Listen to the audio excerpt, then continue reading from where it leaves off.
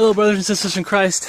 I had a question posed to me, and I figured might as well show uh, the push uh, about uh, being physical with your hands, doing hard labor and everything, and getting out in nature. It's summertime.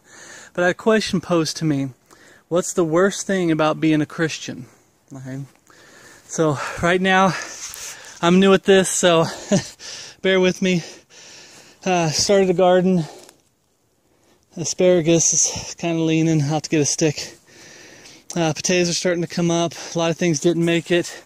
So uh, I am having my first salad from my garden. I got two red strawberries. I don't know if this is showing. That's all I got to show is two red strawberries. Zucchini's taking over everything, so I'm to have to transplant it. And uh, I'm still working on the yard, getting the pond put in.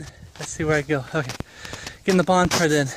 But I was coming out here and I was thinking, you know, I wanted to tell the brethren and encourage them to work with your hands and accomplish things. Get out and physically work. I mean, there's a time to sit behind a computer. There's a time to sit behind a desk. There's a time to sit and relax. I mean, I do it. I sit and relax every evening on my deck and listen to the Lord. Um, old hymns, His Word being read, Bible studies. Sometimes I listen to God's music. The wind's blowing through the trees, sounds like the ocean. The birds are going crazy. Um, but there's there's a big time that needs to be done where you got to get out and get something done and accomplish something, do something physical. When you work hard and then you sit down, you just you feel good. You just you feel good. So I'm having my first salad. But getting back to that question, what's the worst thing about being a Christian? I had a brother in Christ ask me, what's the worst thing about being a Christian? And I looked at him and I'm like, well, uh, the vexation of the world. That's got to be the worst thing about a Christian because I am so vexed by this world. I can't go into town without being vexed. Um, you could say anything satanic style music, sodomies everywhere. Um, you know, what people say, what they're doing, how they have no love for the Lord. Um, it's just vexing in this world today he's like, no, that's that's not it. And I'm like, in my head, at first I'm thinking, well, how do you know what's worse? What's worse for you might not be worse for me. But I had to hear him out, and he was right. So then my second guess was the flesh, our struggle with the flesh, how we uh, fight the flesh, fight sin, and we're struggling with it till the day we die. I'm like, that's got to be the worst thing about being a Christian. And his brother in Christ looked at me and he's like, nope, that's not it. And I looked at him and I said, Okay, I give up. What is it? And he looked at me and he said, The worst thing about being a Christian is knowing the truth and nobody wanting to hear it.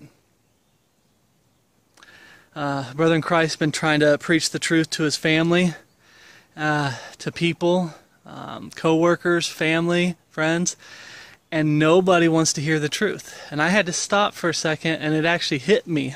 And it's like, you know what? He makes a really good point.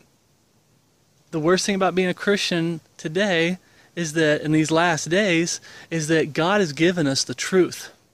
He's given us the ministry of reconciliation. He's given us the truth about the Bible version issue, dispensational teaching, pre-time of Jacob's trouble catching away the body of Christ, the true gospel, eternal security.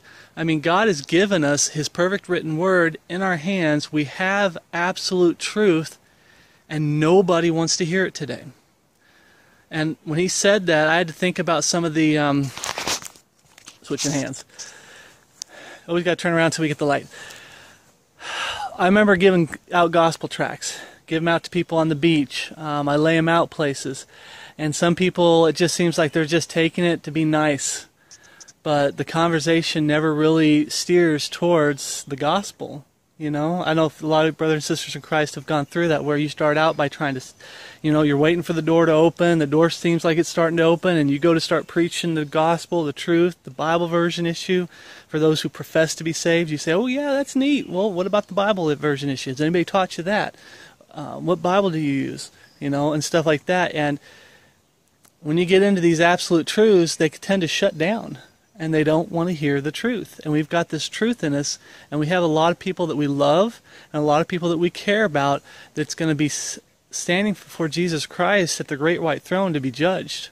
They're going to go to hell because today nobody has a love for the truth hardly. We got our Bible believing um, brothers and sisters in Christ, but and yeah, there's going to be people getting saved. I'm not saying nobody's getting saved today, but it just really hit home it's something for you to think about and it was something for me to think about.